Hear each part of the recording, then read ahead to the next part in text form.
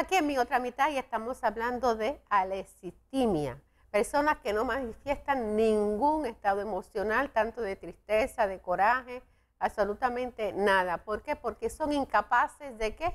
De manifestar un sentimiento. Y estábamos en los síntomas y uno de los síntomas es eh, la imaginación limitada. O sea, que estas personas hay algunas veces que quisiera por lo menos, alguna, nosotros mayormente nos vamos en el, en el rango de, la, de, de las parejas cuando hay personas que hay una persona que dice, ay, este no se inventa nada o esta no se inventa nada, porque son, tienen dificultad, tienen esa limitación de hacer algo, o sea, de, tener algo ingenioso, de hacer algo para en beneficio de esa persona y también del entorno, ¿verdad? También son quejas físicas. Se quejan mucho. Se quejan mucho. Se quejan mucho, mucho, mucho, mucho, pero no hacen nada. Tienen una falta de buscar el disfrute. Sí. Y, buscar el placer. Y buscar el placer. Estas personas viven por, yo creo a veces, ¿verdad? Podría decirse, y muchas personas podrían pensar que viven por vivir. Vivir por vivir. Porque como no ven que disfrutan nada, estas personas pueden ir a, una actividad donde eh, esté todo, todo el mundo esté contento, todo el mundo esté divirtiéndose, y ustedes los van a ver a ellos, quizás posiblemente, en una esquina, sin ningún tipo de expresión de nada. También la postura y las expresiones faciales rígidas, esos que son gruñones. Mm. Eso de esa persona padece mucho. Yo conozco una así. ¿Conoces algún? Pero no, tiene, no. tienes Ah, esto soy yo. no, ah. mi amor, no, si tú no eres así. Ah, no, porque como me dijiste, ah, pero no tienes alexitimia. no. no, no eres tú. No, sí, eres tú, yo, te lo, yo lo digo. Yo lo digo y los televidentes lo saben. Y hay una, una, una televidente que me dice que, que, que no moleste más a mi marido. Eso sí, te llamaron la atención. Me llamaron la atención. Ay, santo. Así que tienes que portarte bien.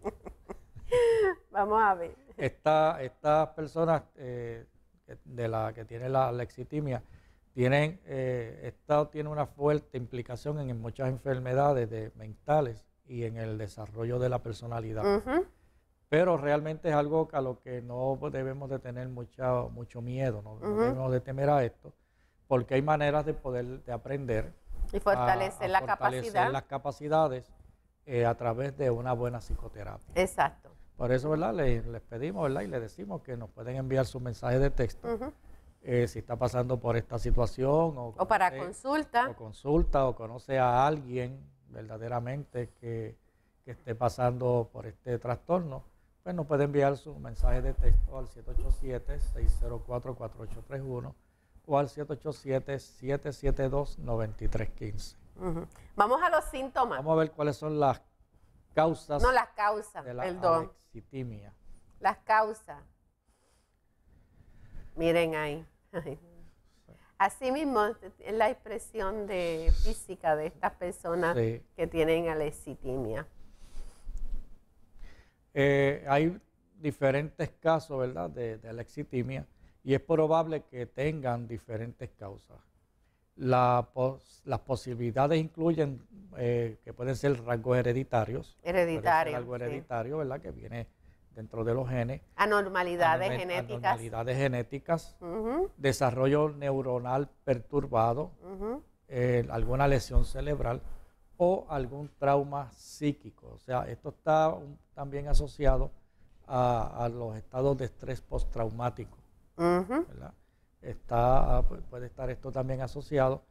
Eh, y, otros la de, desarrollan la lexitimia eh, en, forma en la parte psicológica como una medida de defensa.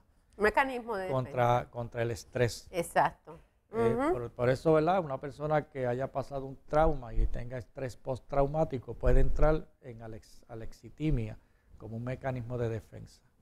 Personas que han vivido algún tipo de, situaciones eh, fuertes, eh, pues también pueden crear este mecanismo de defensa a través de la alexitimia.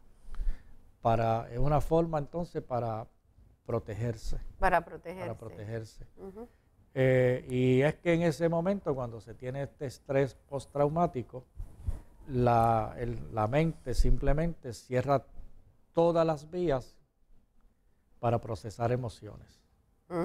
Y entonces el resultado es que entonces la persona está completamente carente de emociones. O sea, que es un mecanismo de defensa no solamente de uno, sino del mismo sistema. del mismo sistema.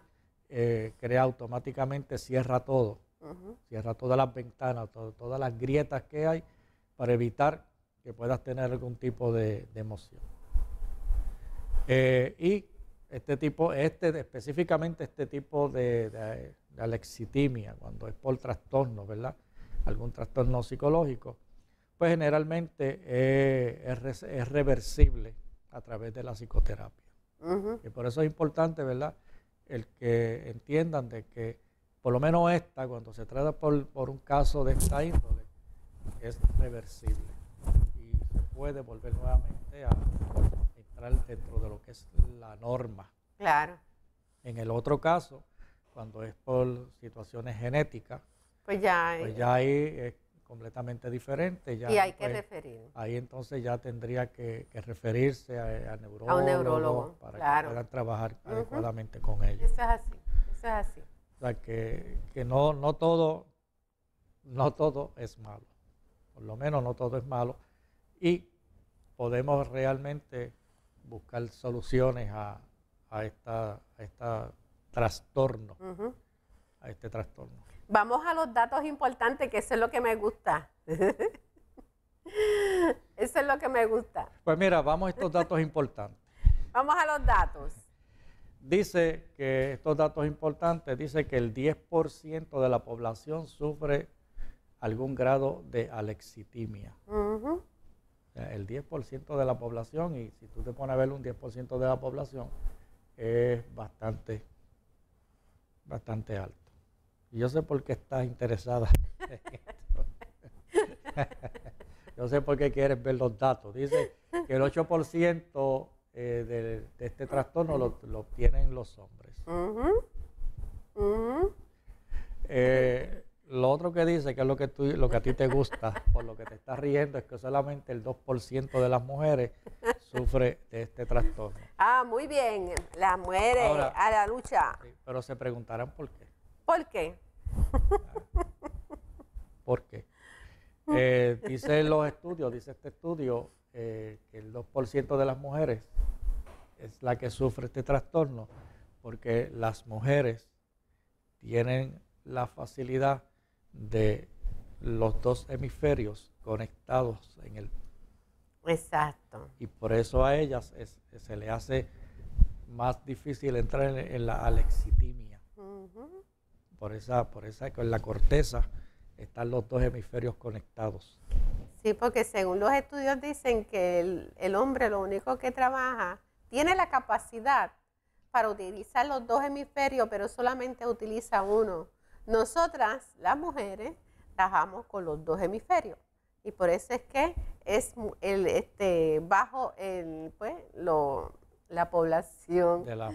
Así que yo estoy exenta. Tú, yo, yo espero que tú no caigas en esto. Bueno, no, nunca sabe.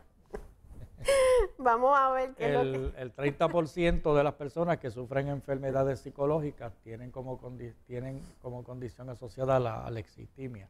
Y cuando habla de enfermedades psicológicas, pues aquí se habla de problemas de bipolaridad, esquizofrenia y otros tipos de condiciones, ¿verdad?, de enfermedades psicológicas que existen, también incluida el trastorno de personalidad. Están ahí dentro, son un 30%. Y el 85% de los pacientes eh, de este trastorno son pacientes autistas que presentan alexitimia y eso lo podemos ver, ¿verdad?, eh, con pacientes así. Tú, el familiar, nos tenemos un familiar así y, realmente no muestra ningún tipo. No, no muestra ningún. Eh, y ahí, ¿verdad? Teníamos la fuente de dónde, de dónde sale, ¿verdad? Esta información de Douglas Pelufo Hoyos, eh, psicólogo clínico. Esto es la revista Cinco Sentidos, Sura, edición número 93. Así que yo, nosotras estamos salvas. Las damas estamos salvas. ¿Ah? Sí. ¿Sí? Lo dice con esa pena. Sí. Eh, todos los, expertos, eh, dicen los, expertos, ¿verdad?, en esta materia, eh, que además de todo esto, ¿verdad?, que hemos citado sobre estos datos importantes, ellos dicen que clasifican básicamente esta enfermedad en dos clases fundamentales. Así, por un lado estaría la primaria, que es aquella que tiene su origen en una cuestión biológica, por lo que aparece como consecuencia de un defecto o deficiencia neurobiológica, que como dijimos, ¿verdad? Es fruto hereditario, y el otro que es la que encontramos, la secundaria, que es la que surge a partir de, diferentes situaciones traumáticas que podríamos vivir en la vida. O sea que hay dos tipos. Está clasificado en primaria y secundaria. Sí. Piensen bien que una, el 85%, como los datos que, se, que, que, reflejaron esa, estadística eh, son mayormente los autistas. Los autistas por lo regular pues no manifiestan cuestiones de alegría, de tristeza. Eh, ¿Por qué? Porque no, no, ese es, ese parte de los síntomas de un de la condición de unos niños, de los niños autistas. Esto, eh, y déjeme decirle una cosa, este, es, bien triste, bien triste, y, si usted tiene alguna persona así, no es venir ahora y decirle, mira, eso es lo que tú tienes, o sea, y, ir sobre la persona, vamos a, trabajar responsablemente, vamos a trabajar de una forma que, en la cual eh, la persona pueda en sí entender cuál es su situación y qué es lo que realmente lo, lo, cuáles son las ayudas, porque las ayudas existen. O sea, no, no podemos en sí este, decir nada, pues él es así, déjalo así. Mm, tenemos que ser bien responsables, tenemos que ser bien, bien responsables. Así que nada, ya mismo regresamos aquí en mi otra mitad.